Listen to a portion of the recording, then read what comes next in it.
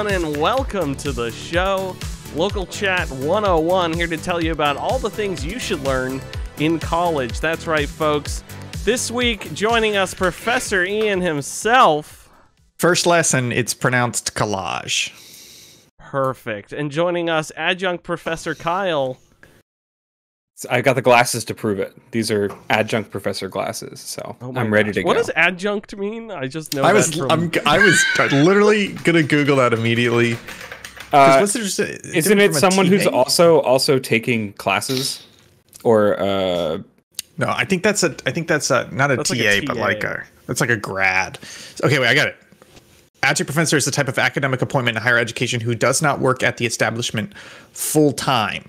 So it's a part time instructor, faculty, lecturer, etc. okay. So there. I'll, I'll buy that. So it's. So I think it goes tenured, normal professor, and then like an adjunct. and then substitute. You ever think about how weird like tenureship is? is. Tenureship Wait, is just like, yeah, I, I guess we're ready to commit at a higher level, and like, uh, it's like it, I think it gives you like protections where you like, it's much harder for you to be fired, and you're like guaranteed a spot by default as opposed to getting rolled off the staff. Just a weird concept. I'm not against it. I just it. know it's a thing that people yell about. I had tenure and like stuff in movies. Um, but at this point, I was too scared to ask. Um, it's just like I, feel like in most other most other industries, it's like six months. Like you have a six months probation period, and then you're basically tenured. Where they're like, "Look, we can't fire you at random on a random day unless it's like a mass layoff or whatever, etc." And in in the academic industry, again, talking out of my ass here, it's like you have to work your ass off for ten to fifteen years and do all this shit to get the same level of protection everybody else gets after six months on the job. Just a weird concept. listen. Anyways. America's perfect, and I will take no slander. Um, brought to you by the Liars Department, folks. We're here to talk about video games and all sorts of things. Video games. This is our this is our official holiday themed episode. Uh, if you ask about the holidays outside of this episode, uh, we will kill you. Yeah, I was just Ian- thinking. Ian has a knife. we were talking earlier about how the news is very light this week because it is the holidays. And last year we didn't have that problem, but the problem we did have was that we did didn't we do we did a we, one week we did the year in review and then the Oh, next yeah. week we did the next year. And then the next week we did like game of the year. So we did like three stupid episodes in a row. So this year we're trying not to do that Yeah. but we don't have enough ga- news content. So i think we just try this normal episode format around the holidays even though there's not a lot of news and see what happens you know? I'm pretty sure I also um, put in all three of those episodes giveaways at the end, and no one ever sent me a message. To, so those giveaways are probably Oh. still there if someone wants to claim them. for Inscryption i believe it was like yeah. It was Yeah. Inscryption and then something else on one of the episodes. So, if, Halucha, Yeah. go go nab those. There were code Yeah. words. Um, no, we're here to talk about video games and our holiday gaming plans. Um, what do you do? You guys want to do the gaming plan or holiday plans first, or go through what we've been playing first? let's go through what we've been playing first and then we come back to the plans Yeah, because then what we've been playing might tie into our plans, and then you don't have to Yes. re-explain yourself. Okay, so I'm gonna go first because I'm more important than all of you. Um, I have been playing Fallout New Vegas more. I'm on the final DLC. Uh, it's actually the first DLC, but I somehow played it last. Um, that game's still great, and I love it. Uh, and it's it's a great time.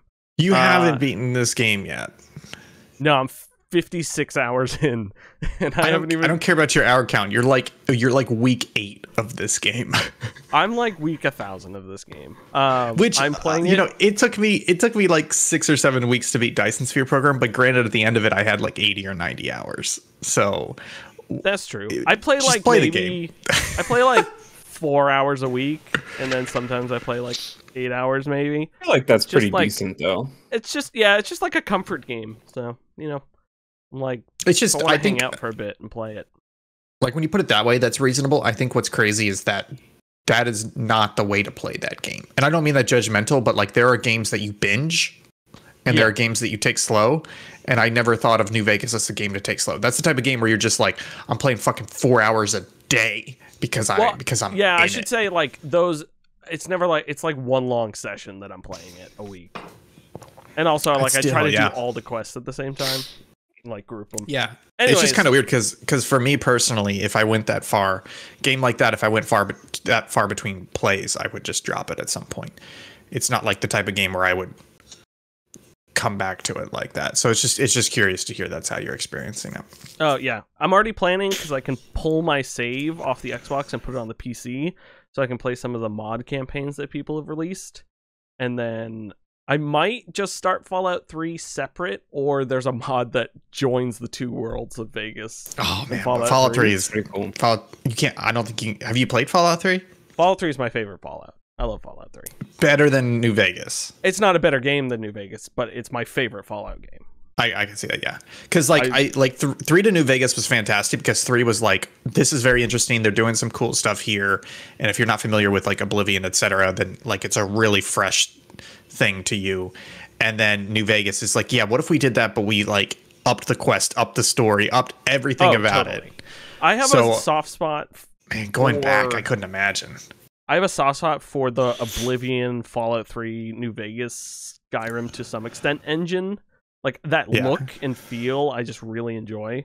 Um, but yeah, Fallout 3, I think I have like 180 hours in on the 360 version. Like I played that so much. Um, so yeah, the New Vegas update. I won't update anymore until I finally beat it, and then I can tell everyone Good. that I beat it. Uh, I've also played a little bit of High on Life. Uh, it is Oh. currently uninstalled. Um, I had to play. Well, okay, wait. What's your opinion on Rick and Morty? I watched the first two seasons of Rick and Morty, and I'm not against watching more of it. I just haven't. Okay, that's fair. Because that that's like that is the baseline going into High on Life. Is what's your opinion on Rick and Morty? Yeah, I I I haven't I haven't felt an impetus to catch up. But if it was like, hey, let's watch all Rick and Morty, I'd be like, okay, sure. Um, I, so I I thought the opening of this game was very fun and neat. God, Um, that opening, like, like I I don't mean to take over, but like I was on the fence about playing this game because it showed okay, it showed good and bad. There was a lot of negative with the Yeah. the pre-release stuff, and then people started picking it up, and they were like, you know what? There's actually something really funny here, and fuck the haters, I'm enjoying this. And people being like, I expected to hate this, and I'm actually really enjoying it. So I went into it not being sure, and within like the first three minutes, I'm like, fuck, there's something very good here in parts that I am excited to enjoy. Um, should we just spoil a little bit about the intro? I mean, it's the tutorial section. yeah, it's it's nothing crazy. It's just, I mean, you you're playing a different video game, and then it like zooms out when you're like sister Yeah. trying to get your attention, and then it shows that you're at a computer monitor, which you But- know but, that like- going in, you know you're clearly not playing the game that was advertised to you. Because it's What? it's like it's like a Doom, like literally a Doom style first person it's shooter like with flat 3D sprites. Doom. And the narrator who's talking to you is your ex- is your ex-wife's is your divorce lawyer or divorce Yeah. attorney, and he's just So like he keeps being like- you. He keeps being like he keeps being like, "Hey, it's Rick, your divorce attorney. You got to go for. You got to press the arrow keys to go forward." And he's like, I love you, man. Why'd you give me a call? And then Yeah, and then, so he, like, every time he basic talks to you, every time he talks to you, though, he says, "Hey, it's Rick, your divorce attorney." He's like, "By the way, the bad guys, they're your your uh, ex-wife's uh, mini boyfriends. It's really weird. Okay, just uh, shoot them." and it's And just always like, like, "Re- hey, remember me? You're love it. Rick, your divorce lawyer. um, Very good. So like he talks you through this, but my favorite part of it is you're like running, and he's like, "Okay, come on up here. We're, gonna- we're gonna show you the midair jump, midair jump." And you jump, and then it's like hit spacebar again, and you hit spacebar again, and you don't go anywhere. You fall. He goes, "Ah, shit! The developers didn't put the midair jump in. We uh, we got the crouch though. Make sure you crouch." So like, yeah. I don't know why it like wasn't that hilarious of a joke, but it just caught me off guard to like I hit the spacebar and then my character was falling and I was like, how did I F up this midair jump already? and then you fall and he's just like, yeah, there is no midair jump. So that was interesting. And then your sister knocks on the door and it plays like a very convincing knocking sound uh, out of the right speaker. And I have a door right here, and I thought someone was knocking on it. I was like, oh my god. Um, So then you get into the game proper, story stuff happens. Um, I played maybe two hours of this game. One of those hours was standing still for an hour because there's a section of the game that asks you to stand still for an hour, and I needed to record that. Um, so the one Oh, hour I yeah. played, um, I honestly didn't hate it. There were some annoying characters and some annoying stuff, but a couple of the jokes made me laugh. Um, a uh, just like the the chaos of the game was pretty funny. Like I didn't find, like I said, I didn't find everything funny, but it wasn't overbearing until like you have the gun and you're like just trying to walk around shooting things and the gun starts talking a lot. So you can now change that up. You can go in the settings and adjust how often the guns talk and everything. But um it it's definitely wasn't an onslaught of like constant Justin Roiland voice um everywhere you're going. It's the same type of comedy over and over again, which is Justin Yeah. Roiland improving into a mic and being like, "Ah, it's me, the Mac and Cheese Brothers. Don't come over here. It's the it's the it's me." And it's like if you don't find that funny, you won't find this funny. I don't find it that funny, but I like improv comedy, so just knowing he's improving to me makes it a little bit funnier because it's like, oh, you're just coming up with stuff. What funny thing are you going to say? But then when it gets overly vulgar, I'm like back out of it. I'm like, don't compensate with that stuff. So I'm not going to continue playing it, but I didn't hate hate how far I got into it. Yeah, I I may continue to play it. I got I got past the first boss fight. Um Did you do because the super I, secret boss after the first boss fight. I don't know cuz I, I I I think I kind of know what you mean, but I I didn't do that. Uh but there's like there's like a 7 out of 10. I feel like this game is a solid 7. But it's because the combat is not is is kind of very vanilla and it doesn't quite feel right. It feels like it's missing like a third of the feel. So like the shooting doesn't feel great, etc. But it's not terrible. So the shooting's like a five or a six, but like the world and the story that it's telling and the humor makes it like like closer to like an eight. Maybe even a 9 Some of the bits are very good. So it's one of those sevens where it's not just boring all the way through. It's got highs and lows. Um, Yeah. But honestly, the, the problem is this was a good time for them to come out in a way in terms of the release year because they're definitely getting buzz. But for me, like we got game of the year coming up, so I'm trying to catch up. I've got holiday stuff going on. Dwarf Fortress just hit.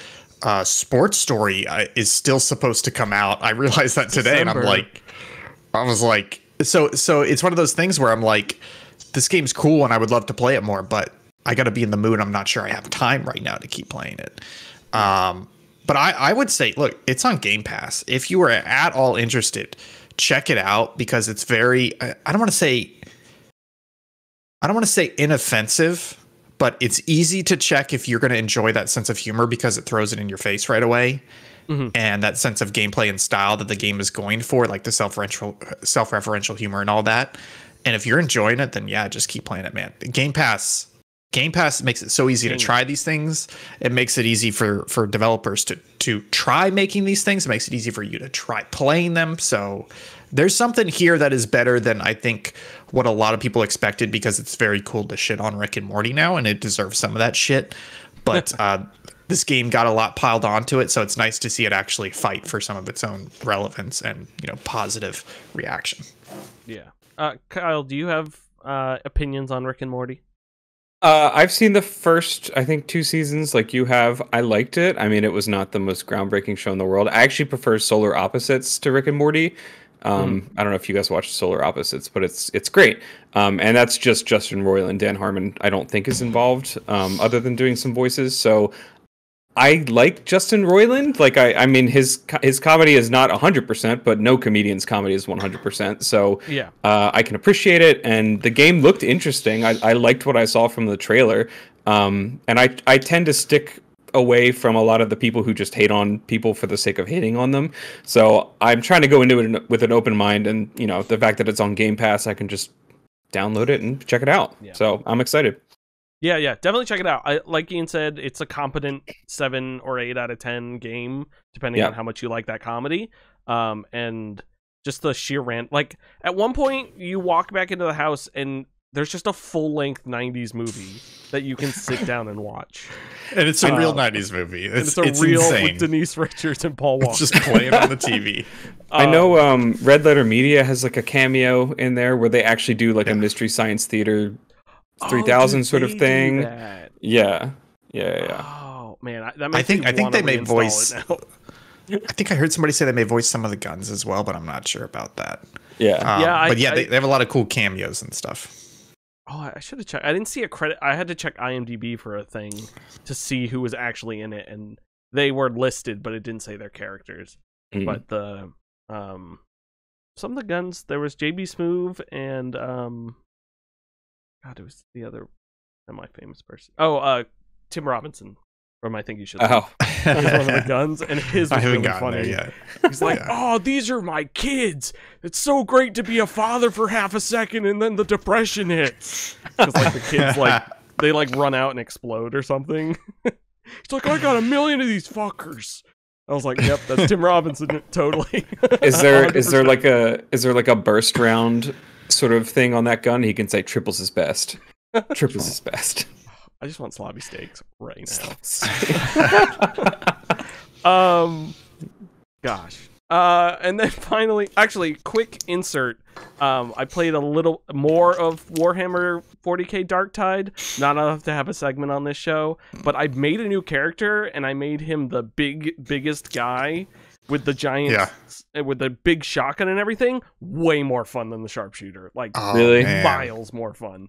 Uh, I had an absolute blast. And when you make a new character, you can skip the prologue, uh, which Nice. is fantastic. Nice. Um, so Karen and I have been playing that a little bit more. Um, I know Chris over at Save Data really enjoys it, so I I want to try to play. It was of that 'cause- honestly, I had a really good time when we played. And Yeah. if you're saying if we can switch up, maybe we can do what is what is that character type?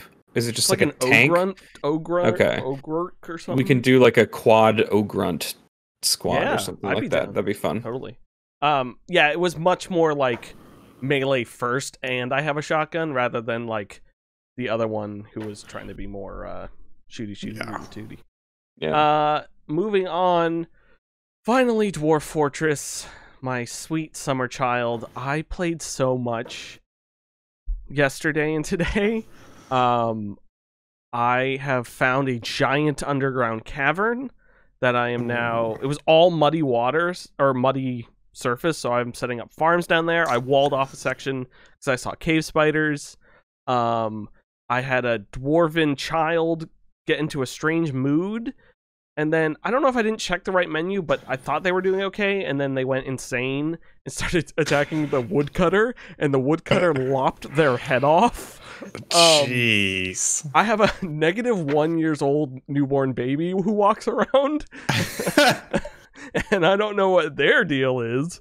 Um, and then a minotaur attacked, um, and I had As- my military squad decimate it, uh, and now this entire thing from the from the child. Well, the child I didn't bury, so a ghost of the child came back. So that was then beating up other children in my fortress. Um. So now, after so that happened, and then the Minotaur attack happened and killed a couple people because they couldn't get inside fast enough. So I'm now making a memorial floor of my uh, my fortress, uh, which spans from I think 28 to negative 10 is my current height. wow. Um, not every floor is obviously taken, but um, I've 72 dwarves. I'm denying every bard who asks to join because I have So the- too many. I have an expansive. It's gotta be it's gotta be a bug, right? Because my fortress is at 79 people and I think 30 of them are entertainers. I I got two migrant waves, like I think within the same year, or it must have been just so close. I had 30 in one and 20 in the other. Jeez Um, Louise. absolutely crazy. I have a huge tavern that I just added a whole new dining hall to because the entire tavern screen is just blinking people. It's full. yeah, yeah. Everyone yeah. goes to the tavern. Um, I had a cult who believes in disease and blight asked to build a, a temple for them.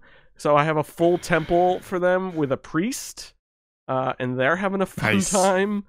Um, it is just a wild video game that is crazy and fun and I'm having I'm having such a good time with it. It's Hey, we didn't good. talk about this last time, but this is going on the Game of the Year nominee list. Like clearly, Oh, a it's hundred percent going on there. So y'all better be prepared to play it. We're talking about the Steam version, of course. Okay, Okay. 'Cause the, the, as long as it's the updated version with with Oh, sprites and stuff. So. Oh, absolutely.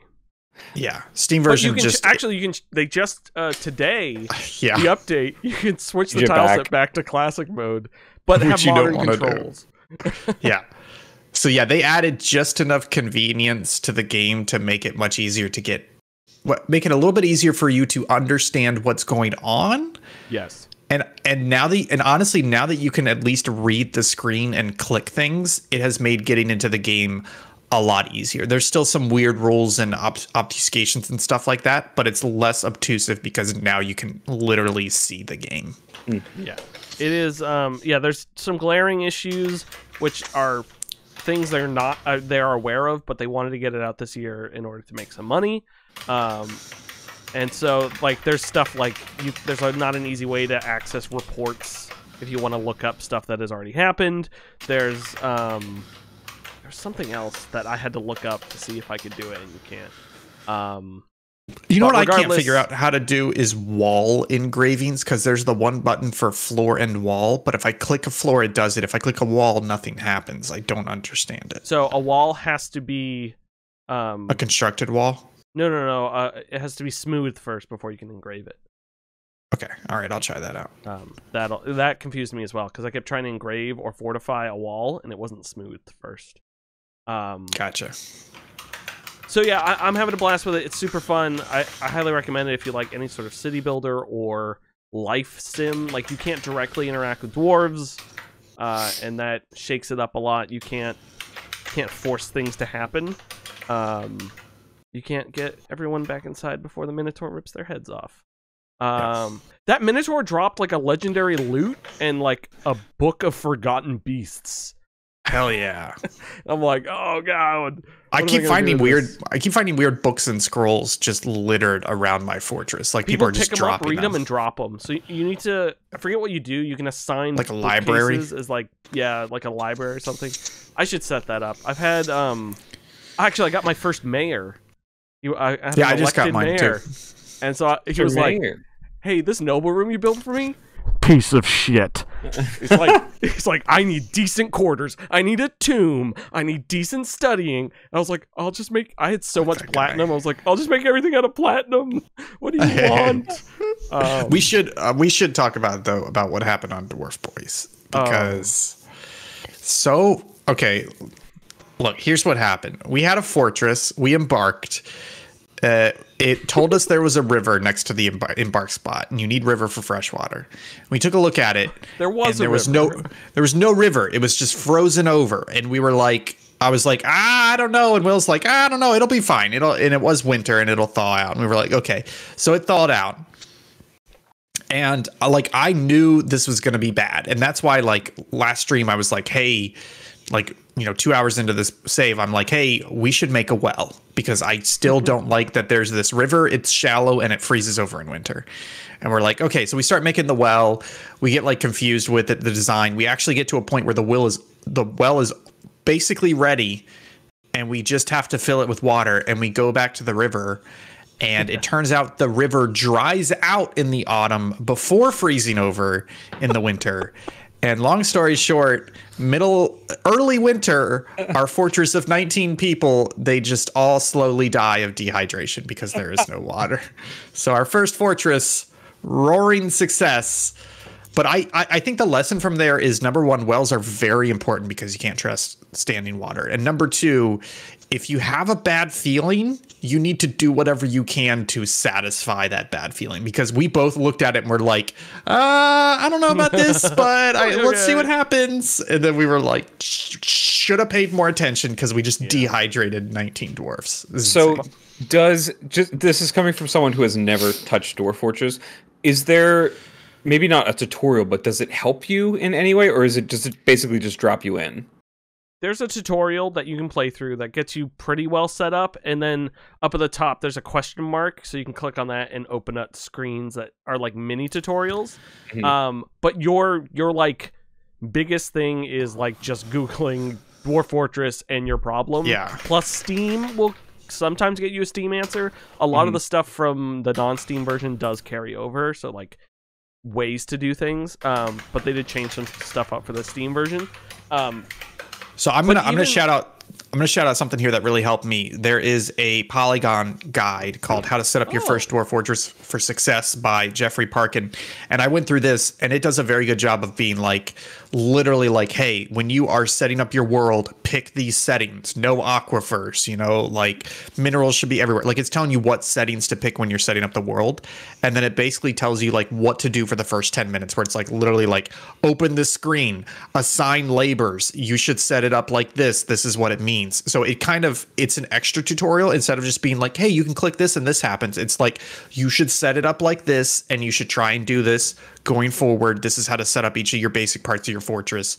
So this guy was fantastic for like the first 60 minutes, and it gave you like 90% of what you needed. So game tutorial plus that Polygon article really, really helped. I literally just bookmarked it. I'm probably going to use it as when I start. So thank you. sweet. Thank you, Polygon, Thank you. Well, well yeah, for not hiring me. Yeah. Yeah. Fuck you, Uh, Polygon. Fuck yeah. Except for this article. yeah, except the for that. you're good. So Ian, uh, no kidding. Uh, so yeah, Dwarf Fortress has been super fun. Uh, we've got Dwarf Boys coming back at you. I think tomorrow we're gonna try to do it. Um, Yeah. At some point. Uh, I'm excited for that. I'm loving it so far. I've got breath of fresh air. Uh, moving on, I'm gonna switch over to you, Kyle. Okay. because you're playing a game I'm extremely excited about. Uh, Yes. and I want to hear you talk about it. So I there was a some sort of a game deal on the trilogy of Hitman. So I, I bought it. It was through Hitman 3, so it like retroactively unlocked the rest of the stuff. I went back, played through Hitman 1. I had already played through Hitman 2, and I'm almost done Hitman 3. I'm at the um uh I forget what it is. You're in the city. Vineyard. There's like the the underground um Oh, like the Hong uh, Kong thing? Yeah, yeah, yeah, yeah. I, Oh, I couldn't yeah. remember what city it was. That was really cool. It's in the rain. It's very like neon, sort of drenched. Um, very fun. I was not expecting the level that came before that, which was the the investigation level. Oh, Uh, yeah. That's so good. I was I, smiling the entire time because I was like, are they really going to let me take the guise of this detective and just walk around everywhere pretty much? I had so much fun. Um, that level was great. I'm really I, it felt like they were it felt like IOI was having fun like developing like like they weren't just sort of let's continue doing the same thing they were like let's see how we can switch this up which i really appreciated um also it, I- mean i know they basically use the same engine for the entire trilogy but it looks so good. Like Yes. it the the amount of detail that is just populating these these levels is insane. Um i love exploring every little nook and cranny. Um the even just the random conversations that'll come up between NPCs are like really interesting to listen to, even if they don't have any sort of weight on the rest of the mission or, or don't unlock a specific um, what method of, of getting your your uh, objective completed. It's just it makes it feel more real and, and more lived in. And I love I love stuff like that. So I'm really excited to keep playing it. I'm almost done. Um, and one of the reasons that I really wanted to get it done and to finish out this trilogy was because they are obviously going to be developing the new James Bond game. Um, I have a long form video that I'm going to be working on over this Christmas break where I'm going to go through the history of James Bond games, but also try and look forward based on what they've done in the past with James Bond games, but what the Hitman developers have done with the Hitman and see how those two things might coincide. So really, really excited for that. Um, and I'm I'm just happy to be playing like a good series, a good trilogy of games that feels so tightly wound and, and really well made. Um, so that's Hitman 3. Uh, Elden Ring, I popped in a little bit with my friend just to try out the new Coliseum stuff.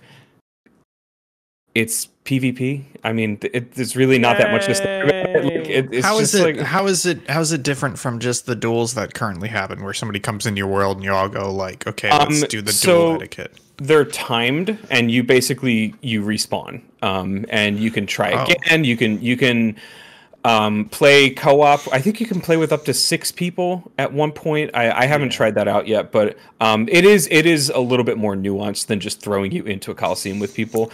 Um, you can specifically get people with using the same password uh, multiplayer system that you have. So if you want to play two on two or four on four with your friends or whatever, you can set that up. Um, it's fine. I mean, I, I was not the biggest fan of the PvP in Elden Ring. I, I much preferred playing against the computer and the, and the AI components. Um, so it was cool. I mean, I'm glad that the the Colosseums do something now rather than just being there and being like, oh, I wish I could go in this thing.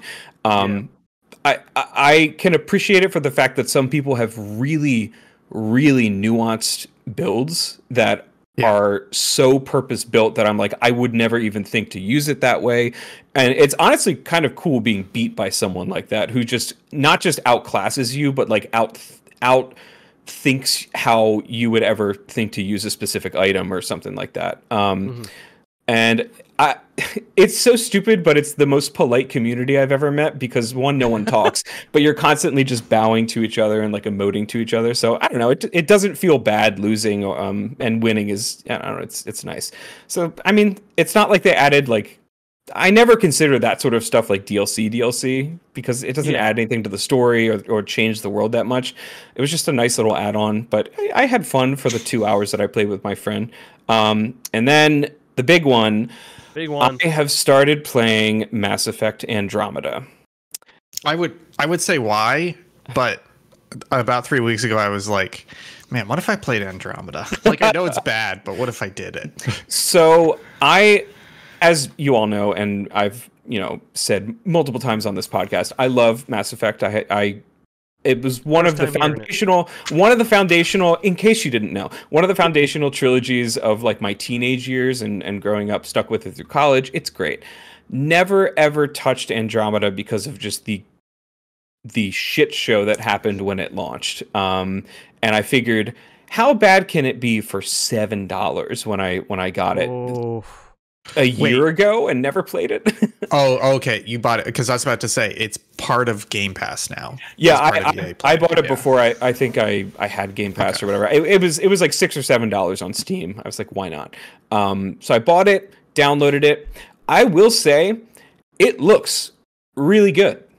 That Frostbite engine or whatever, like the, the the vistas of the the planets and stuff look really good. I'm only like a couple hours into it, so I'm really I haven't seen everything, but that's where the praise kind of stops because I can't even like walk right. Like you just kind of like do this weird walking thing that I thought they would have fixed, but like if you turn, if you turn too much, you literally go like that and it, it your your character just like does that. Um, the facial animations still do not look great. The uh, dialogue is actually terrible.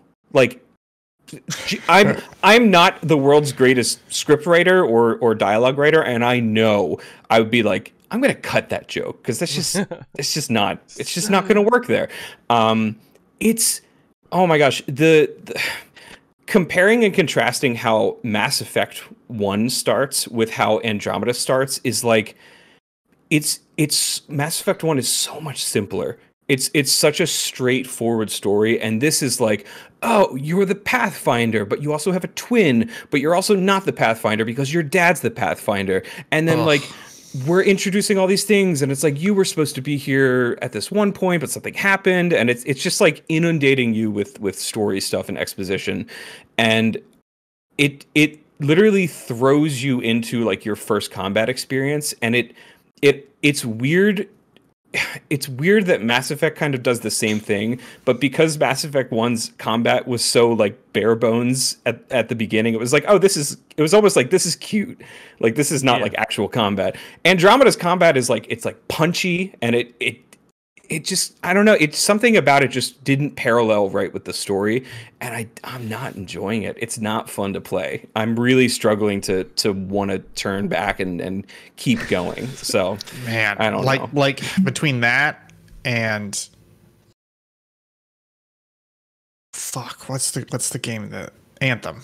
Uh, Oh, yeah. that and Anthem and the divisive opinion about where Dragon Age went, like Bioware, it's not a matter of them digging themselves out of a hole. It's like I'm not sure I trust them with this Mass Effect reboot. Yeah. So When- I, I want to I, be um, excited. I am excited, but also like they they're fucking it up for the last ten years. So Do we know when they started working on this new Mass Effect? Like proper, like when they started developing They or writing yet. or I'm not anything? I'm sorry, I forgot.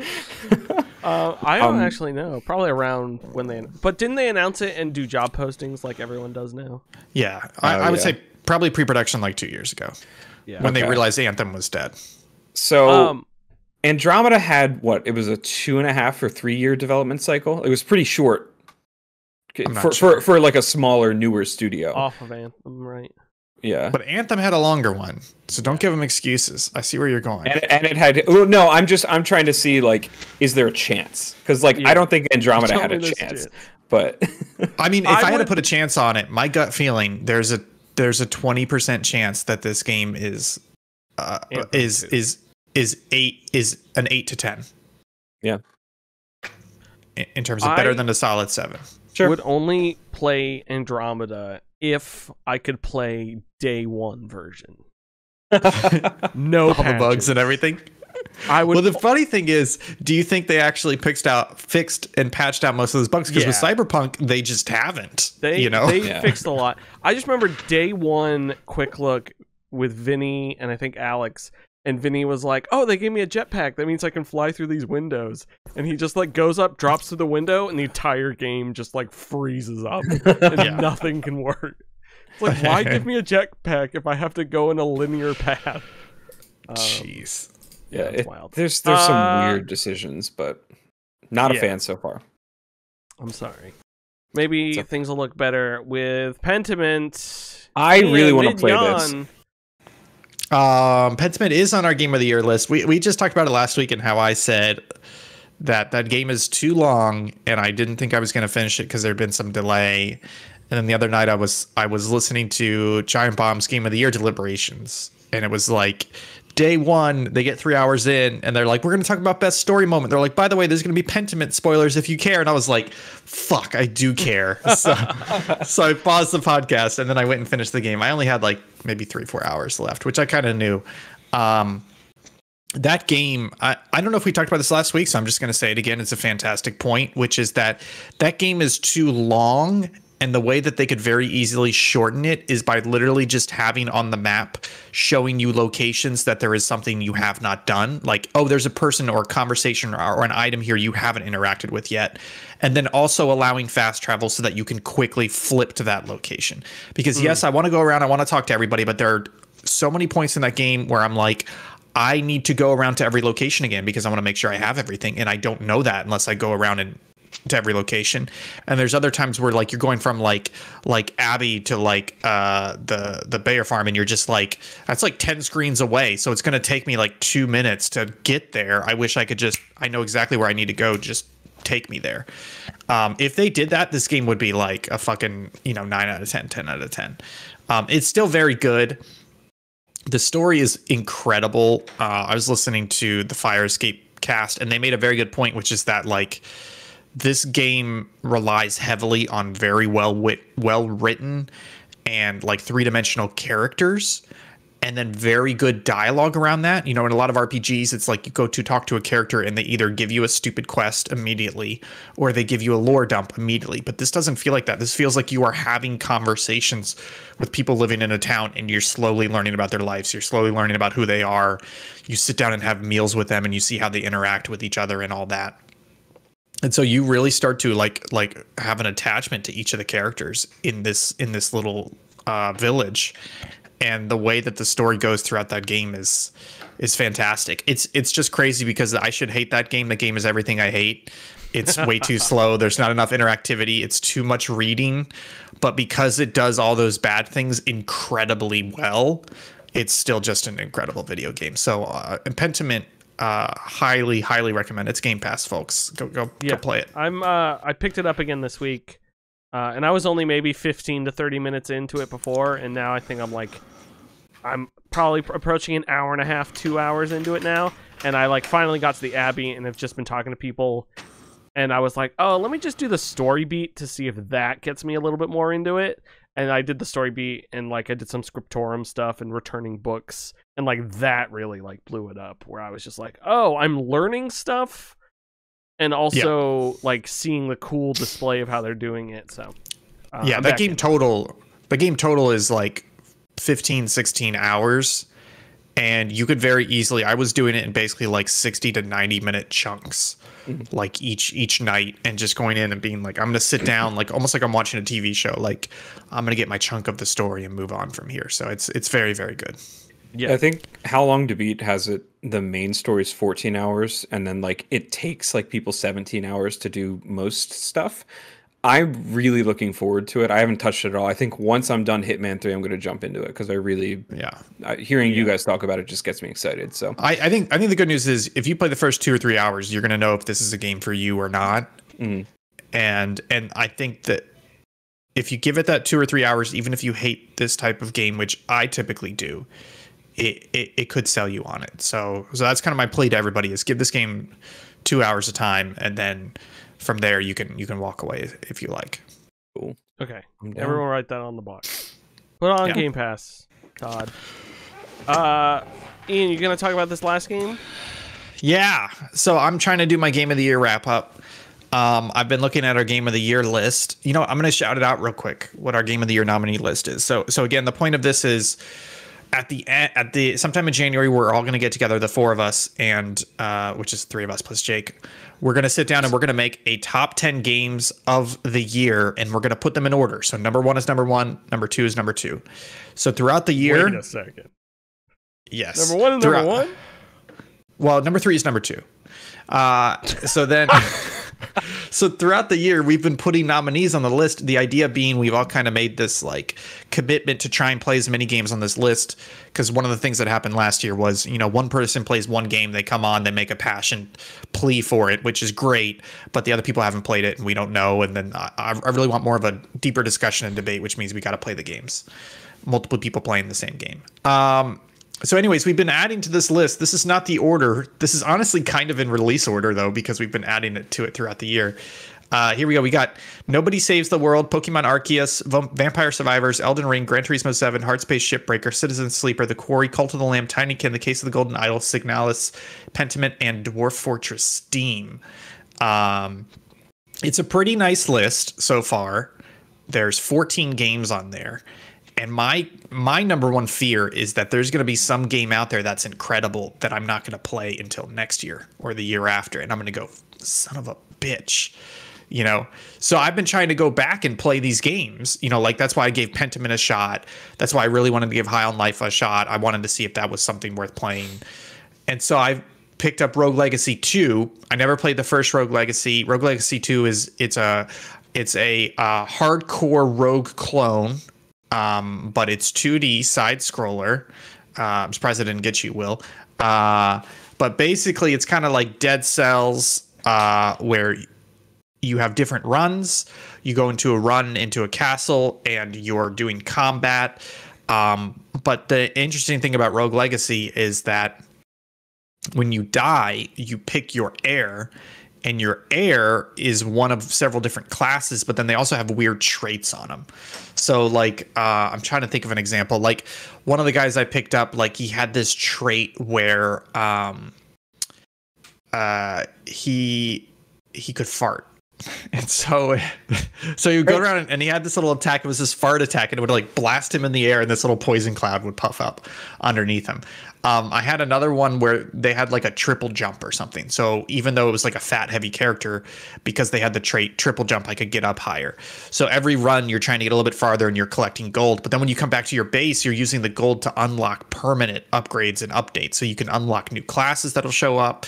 You can unlock new stores to buy stuff from um, you can unlock and purchase like hey i found this i found a blueprint for this leather armor in the castle. Now i have enough money. I'm going to pay for the leather armor so now i have a permanent better armor every time i play.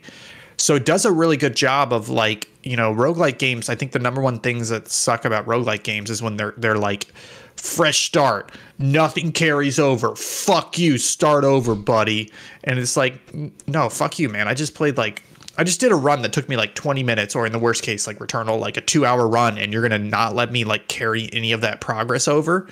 Like, go fuck yourself. Whereas Rogue Legacy's like, hey, you go in that castle, you get gold, you die, you come back out with that gold, you purchase a whole bunch of shit, and that's gonna help you out on the next run. But you gotta basically give up, you have to forfeit all the gold that's left over before you do your next run. So your your, your gold is starting from scratch every time. Um, and it's just really fun. Like it's like you can tell this is a really solid sequel because they had I didn't play the first one, but you can tell that they had like really good gameplay in the first one, and the second one they're just adding stuff on top. They have a whole section in the settings called house rules, and there's like 12 options in there. And they're all Ooh. like, "Hey, how do you, you know, different things you want to play?" Like one of the settings that I turned on because it started pissing me off is the game. The game is a little zoomed in. It's not quite like Dark Souls, which is a little zoomed out. So, so, so like enemies take up a decent sized chunk of the screen and the rooms aren't that big. And by default, if you touch an enemy, you take damage. Like even if they're not, even if you're trying to dash through them, or even if they're not attacking, if you just touch them. And I was having a problem with that. And one of the house rules was like, don't take damage from touching enemies. And I was like, boom, immediately turn that on. I'm like, yeah, sure, it makes the game easier, but it it just feels better because now I can dash through an enemy and hit them from behind. I can, I don't have to worry so much about like jumping over them perfectly because if I accidentally touch their head, I'll take damage, even though they're just like you know some skeleton archer. It's like, why is your head hurting me so much because I touched it? Um, so yeah, it's one of those things where they're like, look, we know what the core game is. We've added a whole bunch of mechanics, a whole lot of craziness on top of it. There's uh, a bunch of different classes. I've already found my favorite. It's like the barbarian. He swings like a big axe, and so in the in the air you do like normal damage. But if you're if you're on the ground and you swing it, you get a crit every time. So I just like, but there's a lot of platforming, so I'll just like run in a level and I'll like jump around and like get my feet on the ground behind somebody and then smack them and they'll like explode. Um, it's a lot of fun, a lot of different options. I'm really enjoying it so far. I'm not sure if it's going on the game of the year list, but for just sitting down on the couch for like 90 minutes and just relax into that, Mm. it's a lot of fun. I I love that between like Dead Cells, Rogue Legacy, any other games like that, I'm starting to really enjoy the games. Even Hades, where they're just like, look, rogues don't rogues aren't about like obscene difficulty. It's about like progress between runs so that in a run you can get further and further. And I really I really like that take on top of the different art styles and mechanics brought to it. Sure. It's it's a roguelike you're you're saying? It's a rogue clone. It's just like the original. It's just like rogue. Um, I was just gonna say I appreciate it in a in a world where like accessibility is becoming more popular in games. That they're they keep b- baby modes in the games for players like you. Uh, it's just I'm really happy about that. you never beat Elden Ring, so you shut your fucking mouth. I, that's on the holiday. A good transition to the holiday activity plans. Um, Can I take over this segue a little bit? Which is to say, for my holidays, we're gonna play some games, but we need to talk about are there potential goaties out there that we need to be playing? Like one of them is Pokemon Scarlet Violet. Like it gets the performance gets shit on a lot, but apparently the gameplay is incredible. And there's part of me that's like, I feel like I need to play that game. I just really don't want to. yeah, I'm not playing that game. Okay. Well, any other any other potential goatee Well, misses I- that you I guys wanna feel like we need to play? Is there is there a list of game of the years around the magazine So I- or- or I- world? Yeah. I I will say I never finished and I need to. I, I really do want to finish Norco, um, which I've I've seen on a few people's end of the year lists. Yeah. Um, I I liked what I played a lot, but I just I never went back to it because I got busy. I switched jobs, stuff happened. So um, that's definitely one that you know might end up on our game of the year list, maybe if I if I finish it. But um, I don't know. I haven't really heard much. Uh, like we I, we I feel like we've got a decent spread already. Um, Yeah, I just I just have that that fear of like imagine if none of us played Inscryption last year and then and then we played Yeah. it this year and we were like wow fucking s-" like uh just watching some of the Giant Bomb stuff one of the things they did was they showed all their they showed all their winners from previous years Mm. and and like one of them was like uh, Middle Earth Shadow of War which is not a terrible game but it's also like really you couldn't find anything better than that solid 7 and then like they picked Skyrim and it was like look, Skyrim's good, but you're telling me there's not a better like like just going back through it, like Tetris Effect. It was like, what the fuck are you guys thinking? And so it's one of those things where I'm like, I want to at least like feel confident about our decision, where I don't necessarily have to agree with 100, percent but two, three, five, ten years from now, I want to look back at it and go, yeah, I don't agree with that pick, maybe, but it's a solid pick. I don't want to be like, oh, there was such a much better game that we completely missed, and that's that's my fear. Yeah, I I would agree with that. I think being able to look like I'm I don't think I will ever change my mind that last year's pick should have been Inscryption. Like No. Yes. bar none. Like like I will agree with Yeah. that probably to the end of time. So if we can continue doing Yeah, that, I want that for feeling. our games, I want that think- confidence. Yeah. yeah. I agree. Exactly. Yeah. Um. So, I, I will. You're looking up some of these Goaty lists. It's a lot of like fucking like Stray, Sufi, God of War, Ragnarok, Elden Ring. Sufi? Isn't that what it's called? Sifu? Yeah. Sufi. Sufi's pretty good. Every It's time I look up 2020 year 2022 game of the year, like any way I search it, it's all game awards. Well, I know PC Um, Gamer did it. GameSpot did it. Giant Oh Bomb yeah, did it. that's weird. Everything, literally everything, comes up as the Game Awards winners. That's crazy. I got that SEO unlock. Yeah. Uh, Plague Tale is probably on some of the lists. I'm just searching best video games in 20. Okay. Uh this one none of did any of us play Tunic? No. I played a little bit of it. I played about an hour of it. The problem that I had with Tunic, and I'm not saying uh, I would highly recommend one of you guys try it out.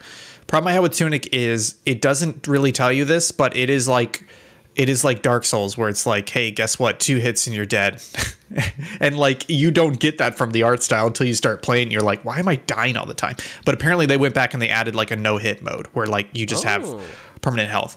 And then the other thing is a lot of that game apparently revolves around revelations in terms of like you play the game like an idiot and then at the end they're like, "Hey, by the way, you could have just done this the whole time." And you're like, "Whoa, my mind's blown." Oh, it's my favorite book of the Bible. And for me personally, I'm like, okay, that works once or twice, but if your whole game is based around the idea of like we're just going to hide these mechanics from you until the very end and then treat you like like it's some big revelation, I'm not crazy about that. So it's one of those things where I'm waiting for one of you guys to play Tunic and be like, it's 100% what you have to do. You have to get past the bump. And then I'll be like, okay, I'll go back to it. I'll turn on like the the no hit mode or whatever and I'll and I'll Baby play mode, through it. please. It's no, because I was getting through it, but it was like it was like I don't want to bang my head against this. Yeah. it's not worth it. No, you it's like I realized uh, I had to record some stuff in the God of War 2018, and I was just like, I put it on story first, and literally you throw an axe into an enemy and then pull it out, and they're dead. And I'm like, Hell yeah.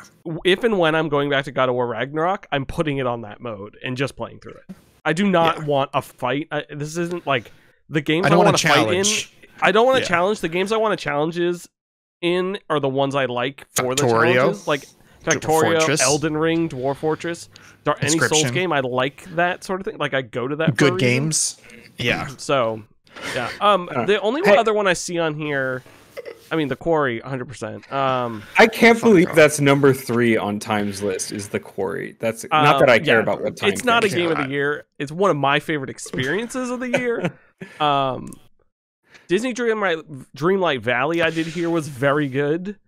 Um, I know, but but part of it is is it's just fucking Disney. Is Yeah, it Disney Animal Stardew Valley sickos? You know. Yeah, Stardew Valley. Um, the one I- that's on here that I need to finish next week, uh, that I forgot about that could be on the list is Immortality, Yes. Yeah. also on Game Pass. Um, I will. I will say, uh, Teenage Mutant Ninja Turtles: Shredder's Revenge. I've seen on a couple. It is a great game. It is fantastic. I mean, if you want to put it on the list, I I because we could put it on there. Yeah, I Yeah. I might because I gotta I think. I'm almost done and I it might go on there because I have not. I don't think I've Yeah. smiled so much playing a game. Like it was just fun. I don't know. Yeah, yeah, yeah. I, I didn't have any problems with it. I played like 30 minutes of it and I was like, I know what this is doing. It's doing Yeah. it very well. It's just not for me. Yeah. But if I anybody don't- wants to make that case, understood. I don't think that it, it's even like game of the year, but I just want to be on the list. It's a ten, it's a top 10 list and it's Yeah. our list, so we can put it anywhere. Yeah. Yeah. Yeah, I I don't think Callisto is gonna hit for any of us. Stray. I don't think Stray Um, was oh, worth man, it. Case of the Golden Idol. Oh. Oh. Hard contender. I was uh, look. Um, I I, I want to flirt this idea with you because we got a slow app here, anyways. We've got 14 games on the list. Sounds like there may be some additional on there. We're getting down to crunch time. Part of me says maybe we should each make our short list of three to five, just to be like, hey, I'm gonna go hard for these games. You guys should really try and play them. But that's a bit of a spoiler because sometimes when we get to the discussion, it's always surprising to see somebody pull some guns out for something you weren't expecting. So it's like, I I had the idea, which is I, which I've done this way before, which is everyone lists out their top ten, and you assign number one is ten points, number two is nine points. Rank You list out the top tens. We send them all to Karen. She tabulates each game's score and puts those in order of a top ten, and then those are the ten games we discuss. we start to debate. Or, uh, Or it's we not use even as those are the ten launching point. games. All of the games, because that won't end up being just ten games. All the games on that Yeah. list, that order we're in, that carries an anonymous weight to it. Yeah, yeah. Um, Like I, I would do that, but the only caveat is I think we need to do that soon because my concern is I'm looking at this list, et cetera, and I'm like, is somebody, you know, really gonna fight for something on here that I need to go back and play? Like, for example, Case of the Golden Idol, I'll spoil you right now. Like, like that's in my top fucking three easy. So y'all motherfuckers better play that game. yeah. Like, So- like I want to say that because I want to have that conversation with Jake and with Kyle, etc. So it's like Yeah. but I don't want to. I don't want to. I don't want to show my hand right now and be like, "This is my number one." I mean, we can figure this out offline, but maybe we do all that, get that tabulated, get the Yeah. top 10 sent to all of us, so we all know to at least play those 10 games. All ten, or maybe we just we could look at it and just say like these five. Yeah, You know, yeah. I think that's not a bad idea. Um, we can figure that out. Yeah, I um, we got what we got. A couple minutes here. Uh, holiday plans. I've got a week off. I think we all have about a week off, right? Yeah. No, I so I didn't take any week time off because I thought work was going to be busy because of something that was scheduled, and then deep breath here. People decided to just change plans for no, valid reason. And I was like, great, I can take a bunch of time off. And then they put other plans in place. So basically, I'm taking off Thursday, Friday, Monday, Tuesday, uh, Thursday, Friday, Saturday, Sunday, Monday, Tuesday. So I basically have a six days, Nice. and that's it. I would have loved to take more time off, but work is very stupid right now, and I can't. I hear you. Um, oh, I don't hear you because my job is amazing and I love everyone I work with. But um, I hear you about taking time off. It sucks uh, and annoying. Um, yeah, my holiday plans. I've got now through the twenty or twenty second. Now twenty second through the second off. So I, I'm Nice. I have a list of all the things I want to do, which is work on a video and then play a bunch. Number two on here is beat Elden Ring. Which number number two A should probably be learn how to play Elden Ring. I was about to say, I hope that takes you forever. Be beat Elden Ring. Because Um, you're you're at the final boss, right? at the final boss. So yeah, I think I'm gonna walk up to the door, summon two people, go through the door, and just have them help me. I don't feel like reading. I another game I do have on here, which uh, shouldn't be on here, but I'm afraid it's the game that is gonna make me not play any of the other games on this list, which is Demon's Souls remake on the PS5, uh, which is just a terrible idea. Um, I have some stream plans. I card stream plan, um, folks. I picked these up. Uh, Oh, no. And no one at home can see this, but these Guardian cards are like stupid, silly fantasy cards to the point that this other uh, booster pack I bought while drunk uh, has a chili recipe on the back Nice. just a Jeez. recipe for chili. Um, and I want to make it someday. So there'll be some card streams next week, uh, for sure. Um, both of you, holiday plans, gaming related holiday plans. Yeah, I pretty much already said mine. Uh, I'm gonna try and catch up on the game of the year list as best I can. Um, I actually really like the idea of consolidating as much as possible, just so that it's Totally. we don't like more than ten games, especially if I haven't played like eight of them, is daunting. Um, but I will I will do whatever the group decides. And then uh, once that's done, I'm going to try and work on this uh, James Bond retrospective, future looking thing. So hopefully that'll that'll be pretty fun. Maybe I'll nominate nominate Goldeneye. Nominate. You know, nominate Goldeneye. um, yeah, but um, I'm really excited to have a week off Yeah. because work Ian? is smarter. Plans. Um, I you know I I I may pick up Pokemon Violet and Scarlet uh, because I am in a bit of a Pokemon mood. But I think honestly the big thing is I got all my PC parts yesterday and today, so I oh, started putting that together. Yes. And it's it's weird because it's going to be a slow transition because I'm not completely cannibalizing my current PC. So it's it's like a slow transition where I'm like, okay, I need to figure out everything I got to pull off the current one, like OBS settings, et cetera, et cetera, et cetera. And then I'm going to bring the current one up. So I think unfortunately that's going to take up most of my holiday holiday Holiday. Time. Holiday time. that Yeah, and I- families. Oh my goodness. Sorry, the, the picture that just came up on stream is very Wow, Whoa. haba baba. Um, oh, so between like like I think I think my PC stuff is going to end up taking most of my my holiday time. But maybe I should just go. Oh, you know what? I just realized it was on my gift list, so maybe somebody just got it for me, anyways. I hope so. You know what's on my gift list that I actually unfortunately know no one has bought for me? Luigi's Mansion 3. Um Are you cheating? Because like, if I go to my Amazon wish list now, it will tell me what's not available anymore. Right? I'm not cheating. I had Karen check because Luigi's Mansion 3 was on sale somewhere else and I wanted to pick it Ah. up on sale, but it turns out I misheard her and it was only $10 off and I was like, eh, it's not worth it. I cheated Um, by accident because I Grant- added something to my cart, but Oh. I shouldn't have. Oh, Gran okay. Turismo 7 is on that list though, Ian. So God, that game is great. That game is I, very um, good. I forgot to pick it up for cheap because I was on a flight to Israel, uh, and I was pissed because you had sent me something for it was like fourteen bucks. But I'll wait Yeah. for for for greatness. I'll wait. Um, for the game of the so year, good. I'll wait. I'll wait. I'm honest. Um, I'm like legit upset that my copy it was with you and then with Jake because watching you play during Extra Life, I'm like, fuck, I want to play some more Gran Turismo There's- Seven. Oh, there's this great um, whippy turn chicane. Is that what it's called? Yeah. Um. Anyways, when I the exit 159 to Clifton, which is how I get to my house from places.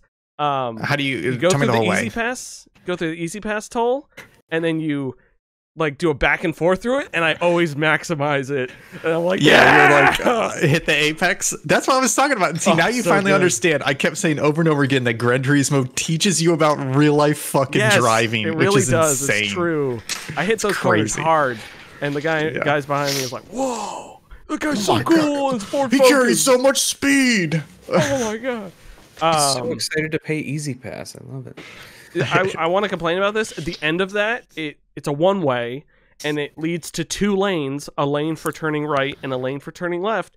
And nine times out of ten, the person in front of me pulls into the right lane to turn left, and I'm like, Classic Jersey. "No, that's not how this Yeah. works." Uh, anyways, let me play the outro music, and we can get out of here. I did not change it to the long version, so folks, we've got 30 seconds. Um, thank you everyone for listening uh, to this local chat this week. Uh, you can find us subpixelfilms.com brings you to our link tree. You can find me on Twitter at Hunt270.